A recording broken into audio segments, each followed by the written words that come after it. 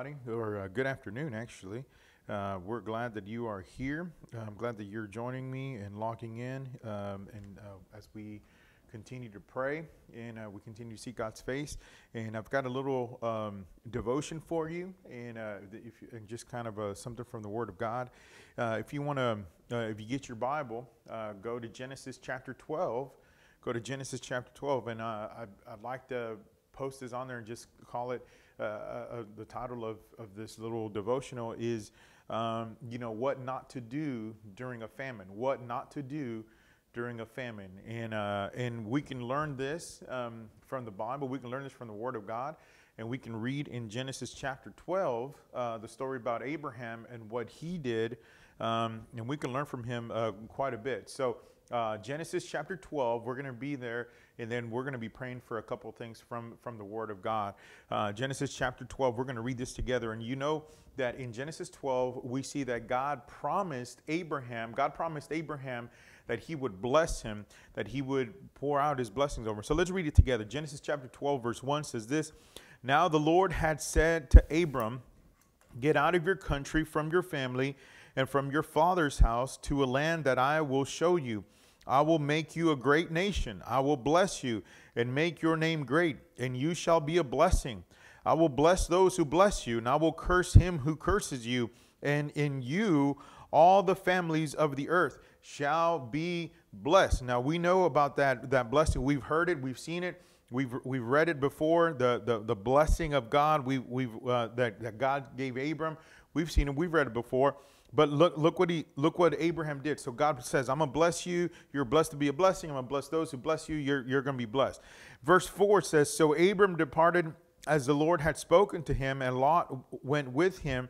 And Abram was 75 years old when he departed from Haran. Then Abram took Sarai his wife, and Lot his brother's son, and all their possessions that they had gathered, and the people whom they had acquired in Haran, and they departed to go to the land of Canaan. So they came to the land of Canaan. Now notice this. All right, so so God tells them, I'm going to give you the land, go to the land, and I'm going to bless you. I'm going to make a nation from you. You're going to be blessed and you're going to be awesome. God's going to provide for you. You're going to be blessed. So what does Abraham do? Abram do does he automatically takes his family, grabs his family, they head over to Canaan, and he's there, and he's at the at the land, and he, and he's there. He's there at the at, at the land, and he's ready to be to be blessed. He's ready. You know, God God's he's following what God tells him to do. All right. Now, if you read this story, if you read it, let's let's keep going. Okay. If you keep reading at it, not once did God ever tell him to leave the land? Okay? Not once did God ever tell Abram or Abraham to leave the land, but instead, I want you to see this. He goes up and he just he, he just he gets up and leaves when it, when things get tough. So I want you to read verse 10 with me. Genesis chapter 12, verse 10 says this: There was a famine in the land, and Abram went down to Egypt to dwell there, for the famine was severe in the land. So listen, God promised him, He says, Go to Canaan. If you go to Canaan, I'm going to bless you. You're going to be blessed. Your na- the nation's going to be blessed. I'm, you know, I'm with you. And, and, and He promises that. Well, the famine gets through. A famine occurs and a famine starts in Genesis 12. And what does Abram do? Abram decides to go to Egypt. He leaves the land. He leaves the promise and he leaves the land and he goes to, uh, to Egypt and, and to dwell there uh, during the time of famine. Me, uh, and so, so when, when he does that, he makes some really bad mistakes. Now, remind, uh, let me remind you, God never told Abram to leave and go to Egypt. God never told him to do that. Abram did this on his own. Okay, you don't you don't read it. You don't see a command of God ever doing this, but Abram does this by himself. Watch this. Verse 11 says this. And it came to pass when he was close to entering Egypt that he said to Sarai, his wife, Indeed, I know you're a woman of, be- a beautiful countenance. Therefore, it will happen when the Egyptians see you that they will say, This is his wife, and they will kill me, but they will let you live. Please say, You are my sister, that it may be well with me for your sake. Okay, a couple things he's already, Abram's already doing wrong. Number one, all right, here's what we don't want to do. Number one, we don't put our trust on man or government, okay? You don't put your trust on any man or any government. At that time, Egypt was the largest civilization. It was the largest uh, uh, uh, government that was established at the time. So, what does Abram do? Instead of putting his trust in God and in the Word of God and in the promises that God had just given him, Abram goes and puts his trust in Egypt, puts his trust in what Egypt is going to provide for him, what Egypt does. Let me tell you something you will always go wrong when you put your trust in the government or you put your trust in a person. Never put your trust on any earthly thing. Always put your trust in Jesus and in Jesus alone, in God alone, only Him. Only he will never fail you. He will never forsake you. He'll never leave you. He's always by your side. What does Abram do? Abram decides, hey, I'm gonna I'm gonna leave uh, um, Canaan. I'm gonna leave my land, and I'm gonna go uh, go to go to go to Egypt, which God never told him to do. Okay, second thing he does, all right, in a time of crisis, a lot of people will bend the rules and try to, you know, change and do things so that they can get their own benefit and their own, their own stuff. Here's what Abram messed up, all right? When Abram goes goes through this, he tells his um he tells his wife Sarah, hey, listen, in order to, to make through this to, so that we can survive and do this, uh, I, I'm going to need you to lie. Okay, if they ask you, and they ask you if you're my wife, tell them you're not. Just say that you're my sister because then you're going to die. Here's, here's what not to do during a famine, all right? Don't lie. Don't try to, to, to, to cover yourself up. Don't try to do whatever, you know, other stuff. Listen, you, you, you always tell the truth. Always follow God's word always do what he's what he tells you to do and, and, and, and be obedient to him listen that later on cost abram and cost him and not only that but it also cost the people of egypt uh, the, the stuff that they were that they were going through uh, because then they, they they received plagues over over Abram and what, what they had done because of this lie. So don't don't don't put yourself don't don't don't lie or put yourself in in a position to sin. Don't do that, okay? Don't tempt yourself or put yourself in a position to sin, even in the middle of crisis. Don't do that. Always tell the truth. Always be be truthful and follow God's leading. Okay. Here's the here's the the, the, the next thing that He does. All right. Let's keep reading. We're in Genesis chapter 12. If you're just joining me, we're talking about what not to do during a crisis. Number one, Abram he trusted in Egypt instead of trusting in God. Okay. Number two, uh, he he he trusted in in in, in man instead instead of God. All right. He and the the other thing he did is he lied during this time of crisis. He asked his his uh, his wife uh, Sarai to lie uh, during this time. We don't. We're, you're not. Don't do that. Don't do that. All right. So let's look at this, and, and then he continues in verse 12. Um, he says, "Therefore." it will happen when the Egyptians see you that they will say, This is his wife, and they will kill me because uh, they will kill me, but they will let let you live. Please say you are uh, please say you are my sister, that it may be well with me for your sake, and that I may live because of you. Verse 14. So it was when Abram came into Egypt that the Egyptian saw the woman, that she was very beautiful. The princess of Pharaoh also saw her and commended her to Pharaoh, and the woman was taken to Pharaoh's house. He treated Abram well. For her sake, he had sheep, oxen, male donkeys, male and female servants, and female donkeys and camels. Now, watch this, okay? Abram receives all these different things. Sometimes what you think is a blessing may be a curse, okay? What you think might be a blessing, it might turn out to be a curse later on. Okay? He imagine Abram. He's got all these. He's got uh, uh, uh, all these cattle, all this this money, all this stuff, and he also has now. He's been given uh, um, male servants and female servants. All right, you that may sound to you like like a blessing. Like, hey, look, we're blessed. We got you know we, we got blessed by Egypt. All that. You know, it may sound to you, but later on, I'm, let me show you something this becomes a curse for him. This becomes a thorn on his flesh. So I, I, want us to be very careful. I want you to be very careful that when when the, you know the, the devil can can open doors for you and and and and try to bless you to distract you. What you think is a, is a blessing might be a distraction to keep you away from God's will. And that's exactly what, what happened to them. He receives female servants and, and male servants and female servants let me tell you who one of those servants was. All right? Let me tell you who it was. Uh, I want you to look at Genesis chapter 16. In Genesis 16, you can see in verse 1 who some of those some of those servants that Abram received who that were who that was. In, ver, in verse 1 says now now Sarai Abram's wife born him no children and she said she had an Egyptian maidservant whose name was Hagar. All right, you know the story. He, he, he, who was one of these servants that, that, that Abram receives in Genesis 12? Hagar. Hagar was one of these servants that he receives. So when, when he thought, when Abram thought, hey, this is a blessing, guess what? Later on, it becomes a curse. It becomes a thorn on his flesh. You know the story? Abram, Abram, uh, oh, Sarai says, look, you should have a, a, a, surrogate child through Hagar because God's not going to use me. Uh, so have a child through them. And through Hagar, they have Ishmael, and it causes all kinds of problems. In fact, those problems are still going on right now with the people of Israel and with, uh, with uh, other nations as well. So, uh, what I'm trying to tell you is that during when you're going through famine, when you're going through struggles, when you're going through these different di- difficult things, all right, make sure that what you think are so-called blessings uh, uh, make sure that they're not distractions from you doing what God wants you to do, okay? Uh, listen, our government is promising a lot of stuff. They're promising a lot of things. They're saying a lot of things.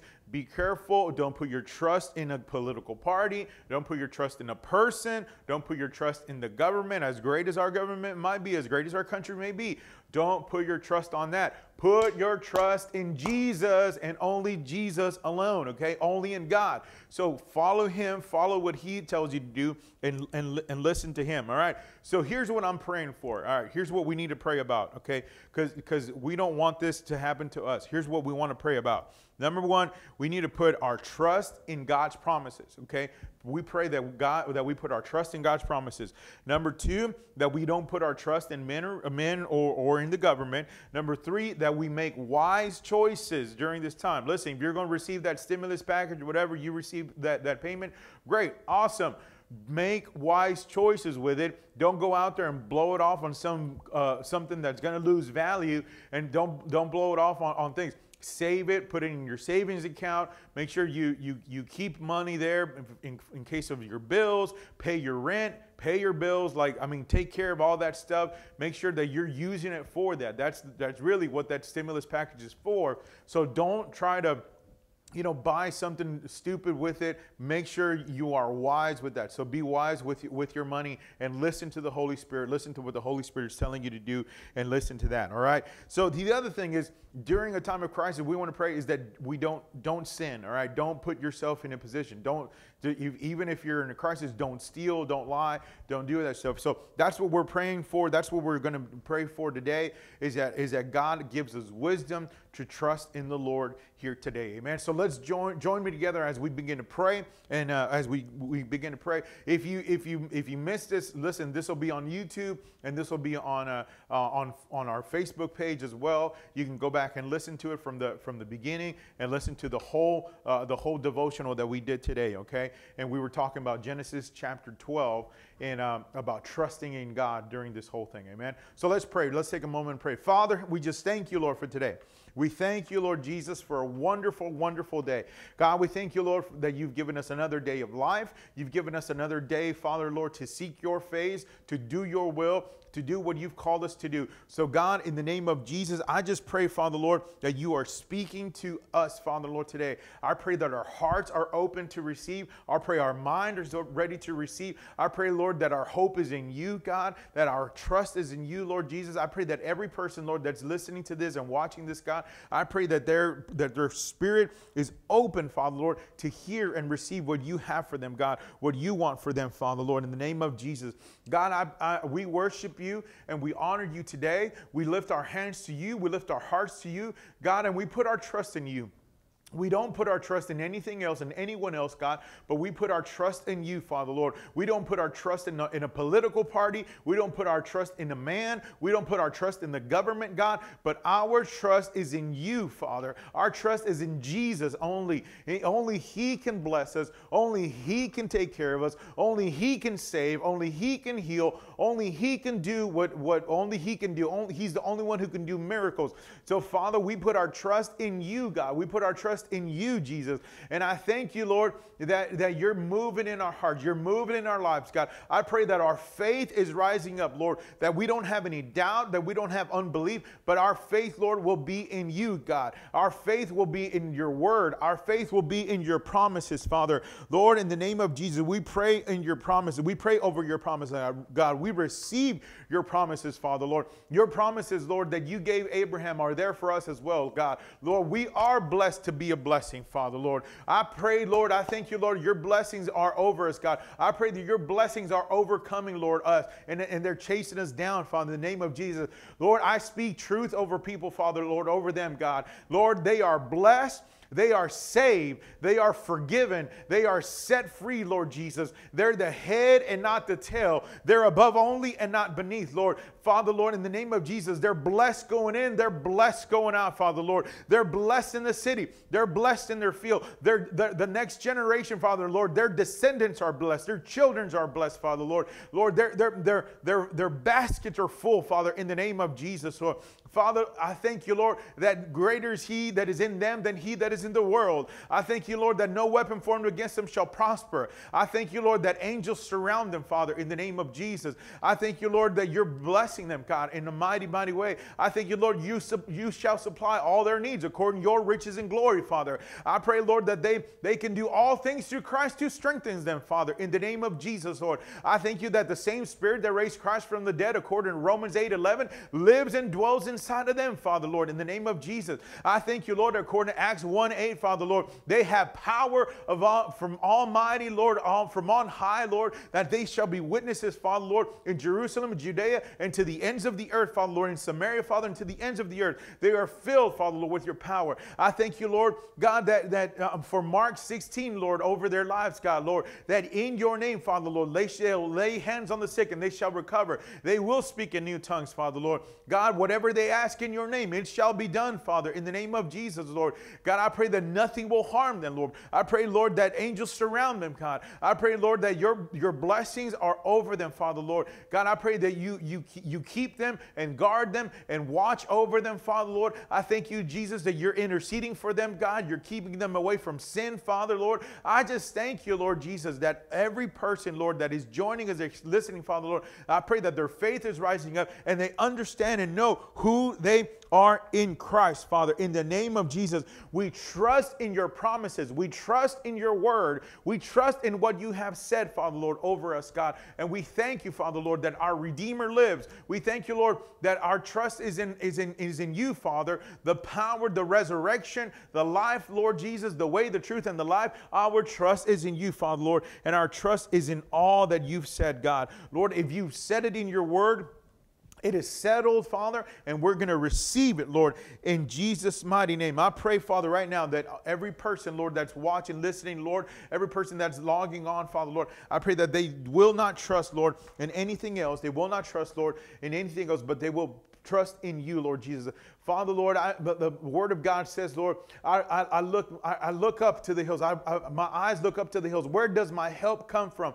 My help comes from the Lord. He's the maker and creator of the universe, Father. That is where our help comes from in the name of Jesus, Lord. And I pray, Father, right now that you're giving people wisdom. I pray, Lord, right now that you're giving people of your anointing. I pray that you're giving them guidance, Father, Lord. I pray that they make right the right decisions the wise decisions, Father, Lord, with, the, with what they're supposed to do, Father. I pray that they're wise with their money. I pray that they're wise with their time. I pray, Lord, that they are wise, Lord Jesus, with their decisions, Lord. I pray, Father, Lord, every pastor, every church, every leader, Father, Lord, that's out there, I pray that they are wise, Lord Jesus, and they don't put themselves in a position, Lord, to sin. I pray that they don't put themselves in a position, Father, Lord, to fall later. I pray, Lord, that these are blessings, Lord, and will not be curses, Father, Lord, later on. I pray that they are blessings and not thorns over their flesh, God, in the name of Jesus. I pray, Father, Lord, that every person, God, will make a wise decision, Lord, over all the things that they're doing, God.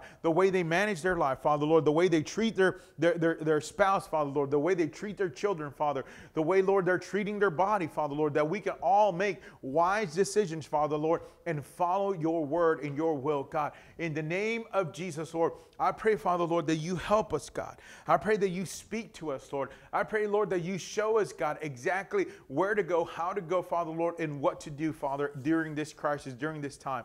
Father, in the name of Jesus, Lord, speak loudly, Lord, Father Lord. We pray, we we we we just, Lord, keep quiet, Father Lord, and we tell every distraction to be quiet right now in the name of Jesus, so that we can listen to your word, so that we can listen to your promises, so we can listen, Lord, to what it is that you have for us, Father, in the name of Jesus.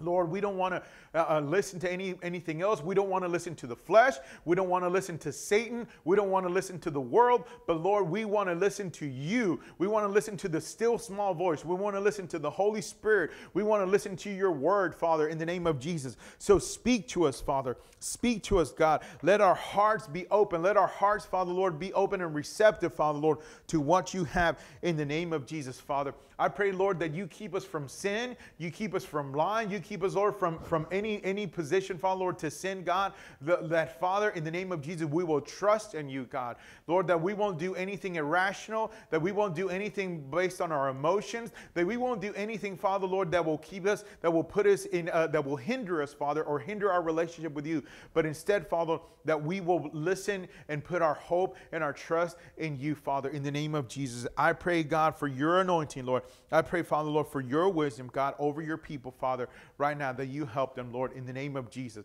And Lord, we just come together as one. We come together as one body, Father, Lord, and we ask you, Father, to heal our land. We ask you to heal our government, and we ask you to heal our country, Lord, uh, to, to, to heal this world, this, this, this, this, this planet, Father, in the name of Jesus. And we ask you, Father, Lord, to move and intervene, God. Lord, Father, we just command that virus to go in Jesus' name by the authority and the power of Jesus that you've given us. We command that virus to go in Jesus' name. And we thank you, God, and we receive healing, Father, right now in the name of Jesus. We receive healing, Father, Lord, over those that are suffering, Father, with, over those that are sick, Father, over those, Lord Jesus, that are that are that are on ventilators right now, that are on ICU and CCU, Father, Lord, in the name of Jesus, Lord, we pray, Father, Lord, that your spirit is moving and roaming, Father, Lord, through those hospital beds, God, and that it's moving through those rooms, God, and you're bringing people up and raising them up, Father Lord.